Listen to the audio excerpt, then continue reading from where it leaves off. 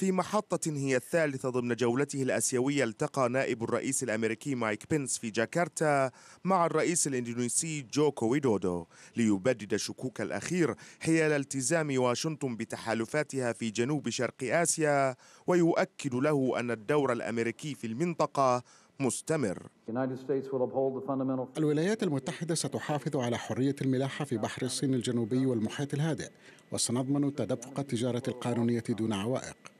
بنس أكد أيضا حاجة الولايات المتحدة لعلاقة قوية مع إندونيسيا كونها أكبر بلد ذي أغلبية مسلمة وأن علاقة قوية بين واشنطن وجاكرتا ستكون دعامة في مواجهة الإرهاب.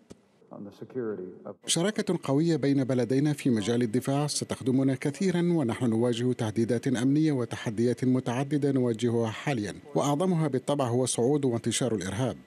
زيارة بنس لأكبر بلد ذي أغلبية مسلمة ما كادت لتمر دون زيارة لمسجد الاستقلال أكبر مساجد جنوب شرق آسيا والذي كان يوما أحد صروح الإسلام المعتدل. وأصبحت اليوم ساحاته منصة لاحتجاجات التيار الإسلامي المتشدد الذي أصبح صعوده في أندونيسيا مقلقا لصناع القرار في جاكرتا.